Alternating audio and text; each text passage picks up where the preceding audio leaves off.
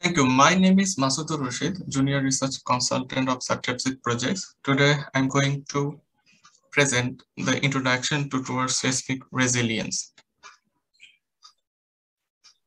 So the title of this book is Towards Seismic Resilience in Dhaka City.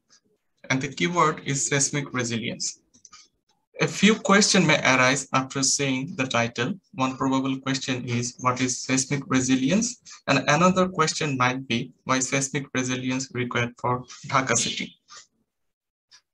So first, what is urban seismic resilience? Urban seismic resilience is a very complex idea. It has many interconnected issues like social aspect, economical aspect, physical aspects, emergency response, and rescue situation, etc. So in simplified way, we can define urban seismic resilience as to withstand the adversity of an earthquake and efficiently reduce the associated risk. So this is a simplified diagram. We're trying to illustrate how to obtain urban resilience against seismic hazard. First, we need to identify the risk or assess the vulnerability of the area. Second, we need to, to take preventive measures to mitigate the risk. Third, community participation is very much required since the frequency of earthquake in Bangladesh is very low. And finally, the government intervention to execute the complex job in an efficient way. So why is seismic resilience required for Dhaka city? Well, the geographical location of Bangladesh is very crucial. It sits at the junction of three active tectonic plates. In the north, we have the Eurasian plate. In the west, we have Indian plate. And in the eastern part, we have the Burmese microplate. And Dhaka is surrounded by three different faults, the Madhupur fault, Dauki fault, and the plate boundary fault.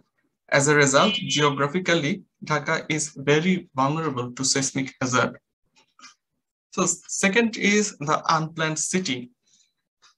Dhaka is an unplanned city in every aspect that makes the capital vulnerable for seismic hazard.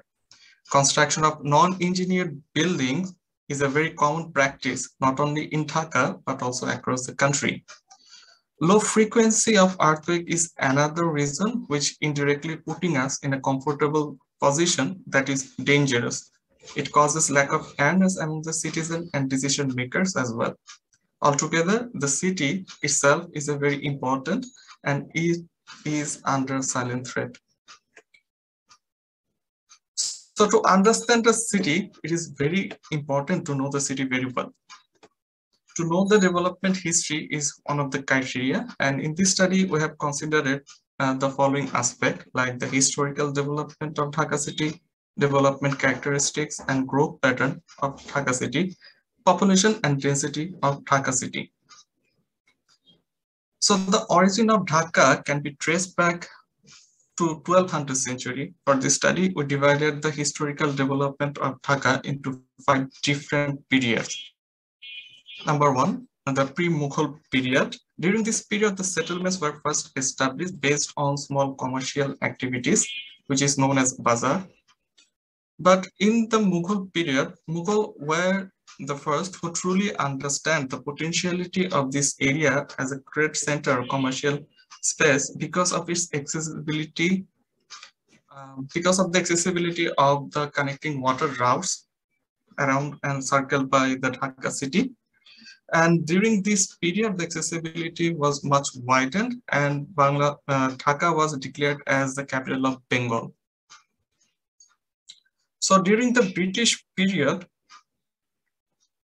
the British Raj concentration, basically they have given the concentration to Nodia Murshidabad and the capital of Dhaka city shifted to the West, West Bengal. And during this period, though British have established some rail tracks and uh, extended the accessibility, however, the commercial activities continued, but in a slower pace. During the Pakistan period, the expansion was much greater uh, and the city moves towards the north. And again, it became the capital of East Pakistan and became the central commercial hub for this area. And during the Bangladesh period, the expansion further extended towards the north and it continues the growth. And for obvious reason, it remains the capital of independent Bangladesh. And it is the center of all economic activities, education, health, culture, and administrative, etc. So to understand the development characteristics and growth pattern, we have done normalized different water index and vegetation index to figure out how the city was developed last 30 years. We used Landsat 7 imagery and focused and found that a large portion of water bodies, wetlands and low-lying areas turned into developable land. In 1989, the eastern part and the northwestern part uh, which was uh, basically water bodies, retention pond, low-lying area turned into developable lands. As you can see, the greener space is a vegetation, but this is not trees or shrubs or high uh, tall uh, vegetation. These are only the grass. So these are the sand-filled area in the yellow shaded areas, and they turned into developable lands. From the chart, we can see uh, the land use land cover changes over the last 30 years, and we can easily identify that 46.64% water bodies turned into vegetation and 30.93% water bodies turned into built-up areas. So as mentioned earlier, Dhaka was developed based on commercial activities. If we look the CBD area of Dhaka city, we can encircle the whole built up area within 25 meter buffer scale. So if you consider the major uh, uh, commercial areas in and Dhaka city, the whole built up area can be encircled within this situation. And al alongside, if we look uh, the road network pattern of Dhaka city from the detailed area plan, then it is clearly indicates that the city is extended towards the east.